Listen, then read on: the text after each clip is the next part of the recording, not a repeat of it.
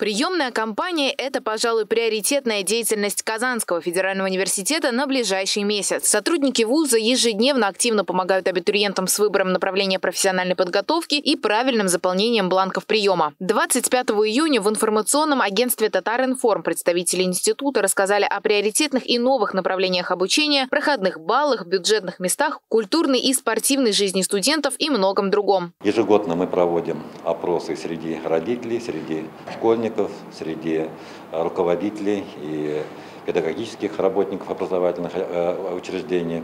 И, соответственно, вносятся коррективы и в части э, внесения корректив программы, названия программ, э, но и в части содержательной тоже имеются определенные изменения.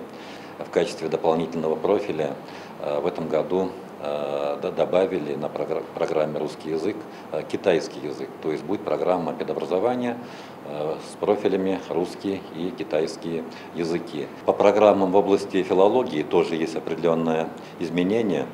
Мы осуществляли набор на программу жестовый язык. В основном мы акцентировали внимание на русский язык. В этом году по просьбе, опять же, родителей и абитуриентов э, мы добавляем еще и профиль э, английский язык.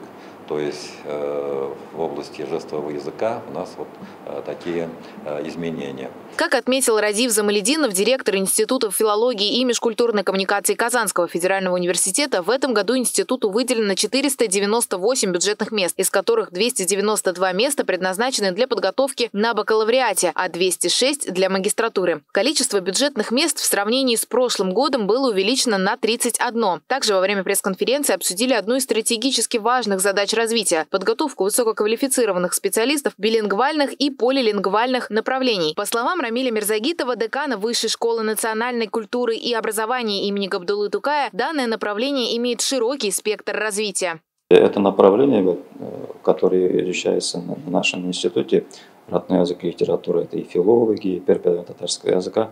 Это уже единственное э, направление в Казани, в Республике Татарстан, где преподается как предмет в высших учебных заведениях.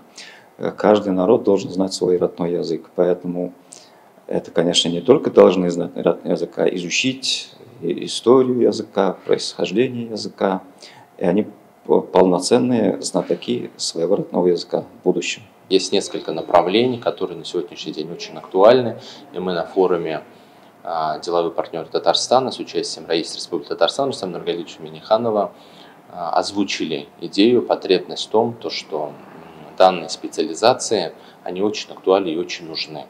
И на сегодняшний день, когда каждый абитуриент или э, э, потенциальный студент поступает в Казанский федеральный университет, конечно же, он окунается вот в эту атмосферу, атмосферу многонационального, многонационального Татарстана. В то же время вот данный институт, он позволяет Э, полностью проникнуться э, и участие в мероприятиях, которые нацелены на сохранение национальной идентичности татарского народа. И это и научно-политические конференции, это и э, мероприятия, и студенчество, и вся вот та атмосфера, то пространство, которое консолидирует, объединяет и нацеливает их на это, это, конечно, очень важно.